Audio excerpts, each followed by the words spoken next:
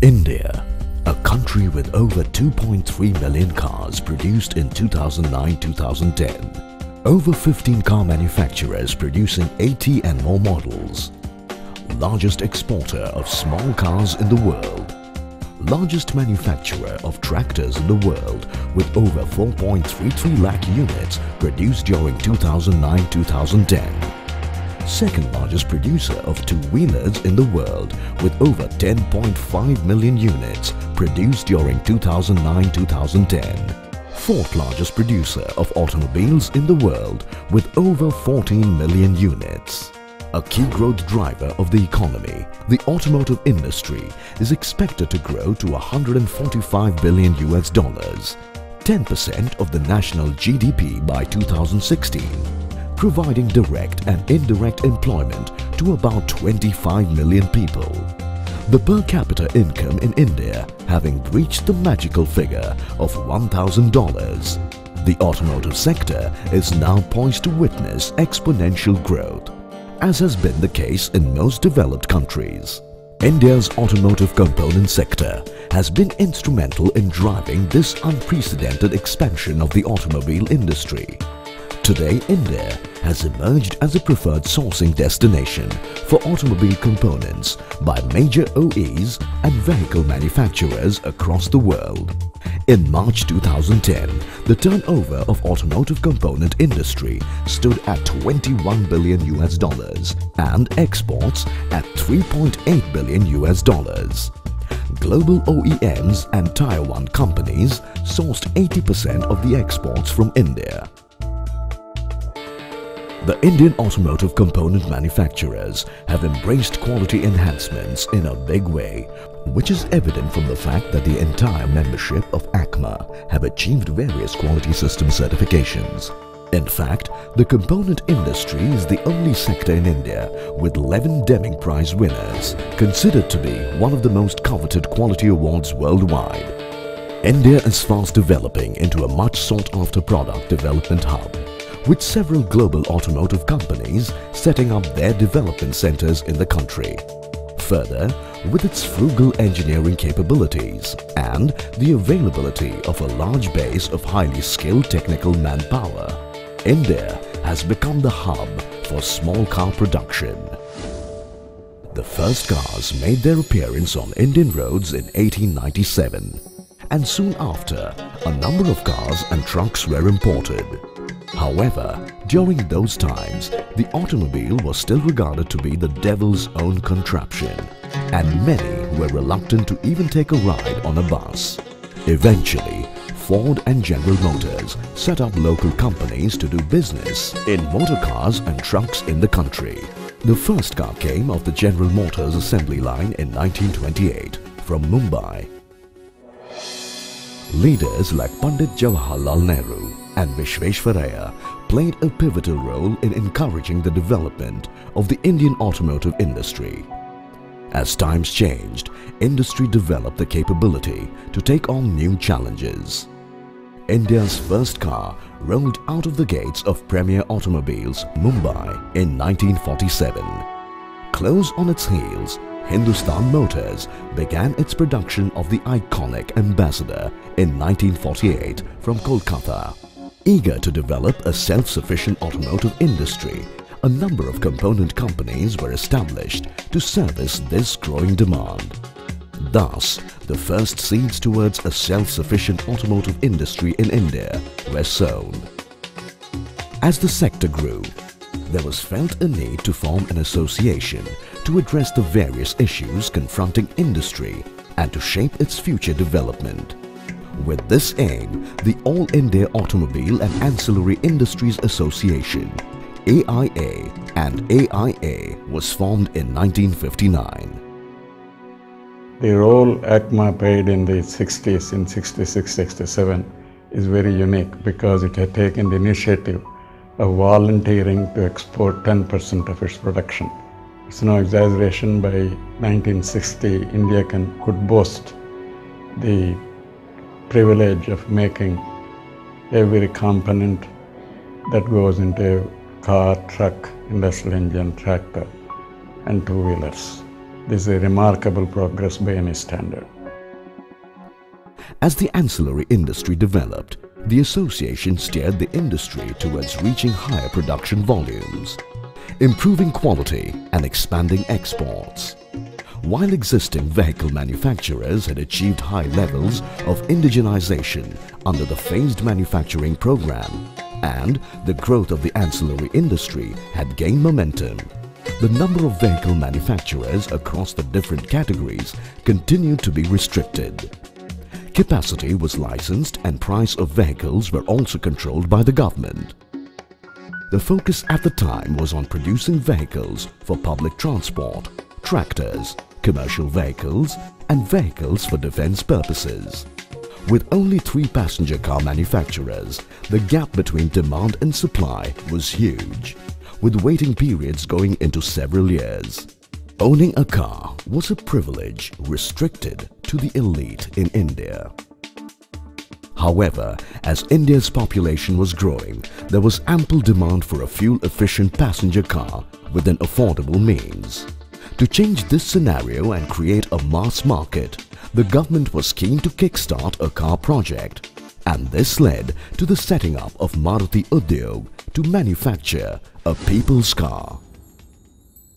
We were required to make 100,000 cars in five years. We had to attain over 90% local content within five years. And we had a cost target to meet so that the cars would sell in this number. When we started, there was not one single component of the Maruti 800 which was actually available in India. So we were starting from a really zero base.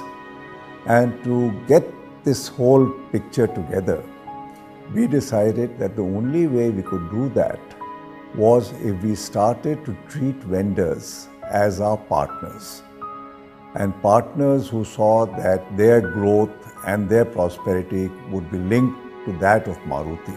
And I must say that the component industry, once they saw that Maruti was actually going to make 100,000 cars and was going to survive and not go under as was expected when we started, responded very well. The advent of Maruti significantly impacted Indian industry, helping the manufacturing sector break away from the vicious cycle of low volume and high cost, placing greater emphasis on quality than ever before. Maruti or Suzuki brought a lot of technology, not so much focused on engine and uh, transmission, as on the vehicle body, the trim, the interiors, the air conditioning, so many aspects which were missing in earlier vehicles to give the customer a better ride, lesser noise, vibration, harshness, easier entry and exit. All these were built into this new generation automobile. The collaboration between Maruti and Suzuki was further considered to be a pace setter for increasing Indo-Japanese cooperation in the industry and was seen as the first steps made towards liberalization of the economy. Hero Cycles Private Limited, which entered into a joint venture agreement with Honda Motor Company of Japan around the same time, has today gone on to take the number one spot in the world in terms of manufacture of motorcycles. Given the changing face of the Indian automotive industry, the Executive Committee of the AIA and the AIA felt the need to change the name of the association to give it a new perspective. Thus, AIA and AIA was rechristened ACMA, Automotive Component Manufacturers Association of India in June 1983.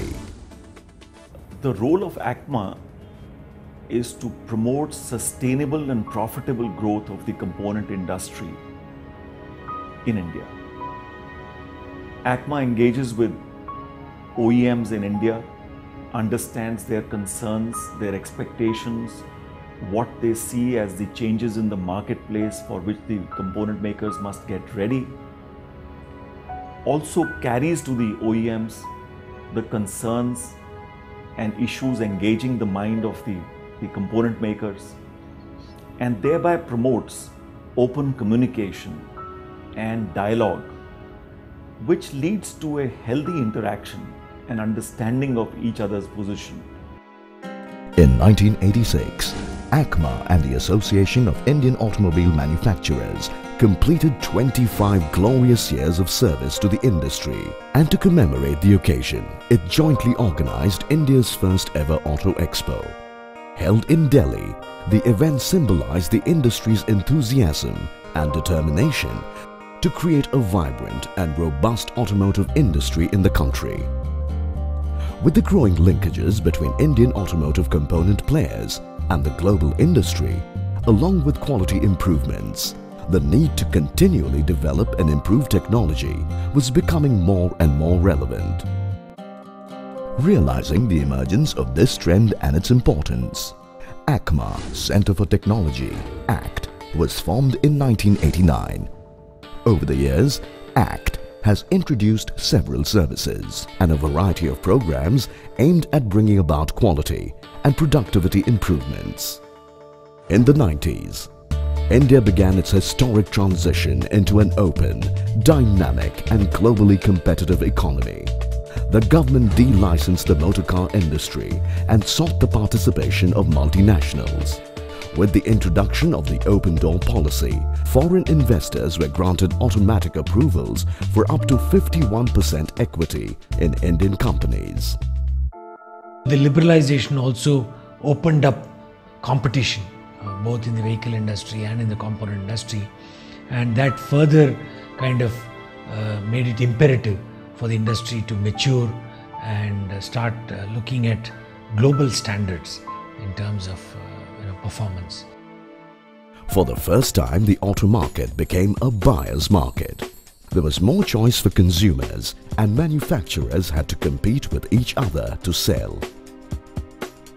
The Automotive Component Manufacturers Association was focused on getting their members to start the quality journey so that they could uh, meet customer expectations, come up to world standards of quality. And ACMA is also focused on getting multinational players to understand the opportunities available in India and also the status of the component industry that it was uh, having a ready-made supply chain for their investments and growth in the country. By 1993, the automotive component industry was exporting over 13% of its output, covering a range of high-value products. The phased manufacturing program had given way to a localization policy under which within three years of operations, vehicle manufacturers were to achieve an indigenization level of 50% and 70% within five years.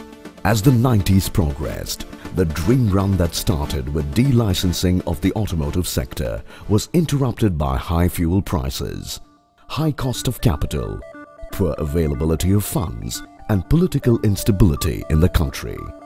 Not to be bogged down by hostile environment, the industry in its quest for survival focused its attention on improving quality, productivity and in becoming leaner.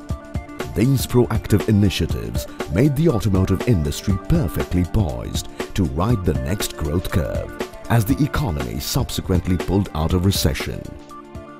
This industry has withstood one way that it has been able to cater to very diverse technologies Korean, Japanese, American, European, and in European again individual countries. And for two wheelers, three wheelers, and uh, cars and trucks, and has been able to satisfy the manufacturers with almost 95 98% of local content. In order to improve the customer base, exports were given high priority a number of initiatives were introduced to encourage exports. And by the mid-90s, the level of exports crossed the rupees 1000 crore mark. So if you got a Deming Award or if you had a TPM Excellence Award or a TQM Award, the foreign manufacturers uh, took it for granted that you know all the, um, requirements of uh, producing a quality part. I think this, the auto component industry uh, sort of plunged into it wholeheartedly because it helped them uh, to achieve that kind of visibility in uh, the eyes of the customers. And these awards went to strengthen the image of uh, not only the auto component industry but also the image of India. Further, aware of the need to continually build the industry's image locally as well as internationally, ACMA focused on activities such as participation in specialized shows, interacting with OEMs and leading aftermarket buyers, interactions with visiting business delegations and international agencies. These interactions facilitated open communication and were integral to the industry's transition. So we work very very closely with the vendors. We have never seen a day when the motorcycles have not gone out for and they have not been produced because for the want of any component coming from vendors. No. While the automotive industry in the 90s saw a burst of activities across the entire value chain, fueled by the opening up of the Indian economy, the next decade marked the transformation of the industry into one of considerable global standing. From an attitude of why India, the global sentiment has now changed to not without India. In 2001, after 50 years of import restrictions, the vehicle industry was thrown open to global competition with the lifting of all import restrictions on new and second-hand vehicles. The MOU policy was also done away with in 2001 and along with it the localization norms and export obligations. On its part initiated a cluster approach. Group of companies were brought together and taken through a set roadmap of process improvement. The uh, basic idea came from Professor Tsuda-san TQM initiative, which was organized by uh, Maruti and which had a cluster of companies. And uh, that's how it, the whole thing started. Then we uh, said we said we'll interview companies, and wherever the CMD is involved, only then it will work. So we interviewed the company, interviewed the managers, interviewed the companies, and uh, it was a very very tight uh, selection process, and we got only about 14 companies, and the charge was uh, 5 lakhs a year. And uh, I understand they recovered that 5 lakhs within three months of the cluster program. Further, with a number of improvements having been brought about, the cluster program is the talk of the industry both in India and abroad. In 2002, the government allowed 100% foreign direct investment through automatic route. As the vehicle volumes increased, so did the automotive component industry. It grew at 20% despite the continual increase in prices of raw materials and inputs. Investments in capacity and improvements in productivity were beginning to bring in rewards. In 2003, exports grew by 30% and crossed the 1 billion US dollar mark. However, global volatility began to severely affect the Indian industry in 2006-2007.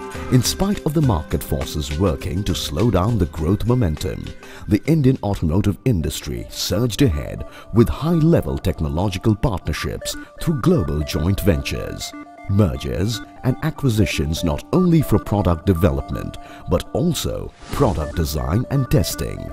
It was during this time the government announced the Automotive Mission Plan AMP, a 10-year roadmap for the Indian automotive industry. AMP is the is a monumental work and it's the best example that you can think of for, uh, for symbolizing the synergy between the government and the industry. That you know the mechanism which the AMP has set forth for both the government and for the industry will go a long way in achieving what we want to achieve. And I have no doubt that industry will contribute hugely to this effort of India becoming a hub for automotive sector. The AMP has been of great assistance and a beacon to industry, government and the various ministries. We are committed in ACMA to perform and to see that this vision 2021 is definitely completed by the year 2016. 20 billion of exports, 20 billion of domestic market and 1 million of additional jobs created by 2016.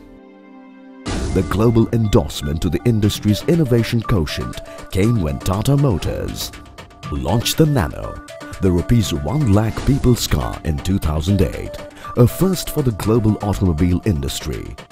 With 37 patents, the Nano is a testament to India's mettle in small car innovation and production. Component companies in India can boast themselves that they are the fastest to deliver the product from the concept to the on the drawing board to the finished product and that was a major role ACMA played in to support the auto component industry. The year 2008 also witnessed the most powerful economies of the world going into recession and the global automotive industry was faced with one of its toughest crises ever. Arising to the challenge, the Government of India reacted proactively and announced stimulus packages which were aimed at increasing liquidity, reducing the cost of finance, reducing duties and taxes, enhancing depreciation of commercial vehicles, enhanced export incentives, and more flexible lending policies. Industry responded positively to these measures and by mid-2009, the automotive industry was back to business as usual. The prowess of the Indian automotive sector is showcased in the biennial Auto Expo, a truly international platform to showcase the capabilities of the Indian auto sector. With a modest beginning with just over 100 companies at the first expo in 1986, the Auto Expo 2010 had 2,100 exhibitors and the largest ever international participation comprising 800 exhibitors and 98 delegations from 38 countries. It would be amiss to not acknowledge the significant contribution of the Government of India and some of our state governments in the development of the auto sector in the country. ACMA and the government work in tandem to promote investments. R&D, skill development and other areas crucial for the growth and development of the sector. ACMA has also started a program on new product development and R&D with the Massachusetts Institute of Technology, MIT, to build expertise across member companies. So what does the future hold? During the last 50 years of this industry's growth, I've seen it grow from a simple screwdriver kind of situation to a totally global scenario today.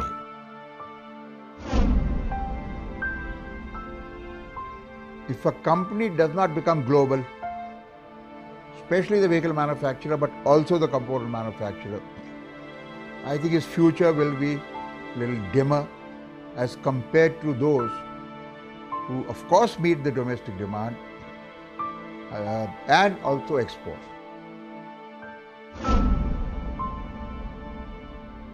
Today, it is primarily what you know about your business which is going to guarantee success.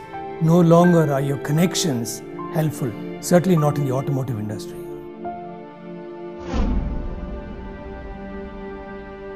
A synergy of the technology which is in existence in the West, remodeled and innovatively done with the frugal engineering of India would be the next way forward. I must say that of all the industry segments in India, this is the best managed sector in Indian economy and I think they have learned to manage it well, globally competitive.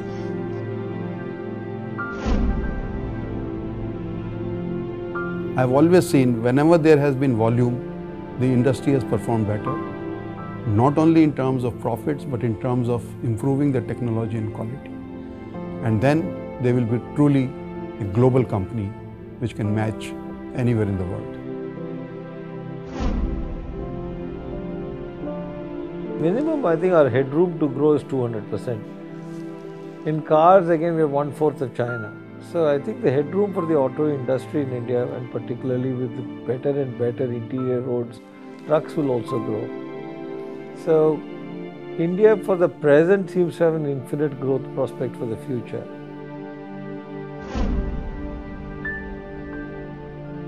The year 2010 is the year where we are standing at crossroads, uh, where we are poised into something much bigger going forward in the next decade, uh, with uh, the Western world knowing and understanding that we need to minimize the carbon footprint, uh, we need to conserve fossil fuels.